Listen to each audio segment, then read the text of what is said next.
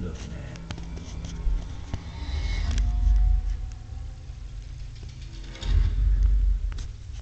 Looking for the lead? An all-new episode airs right now only on FXX. Go to getfxx.com to find your channel number.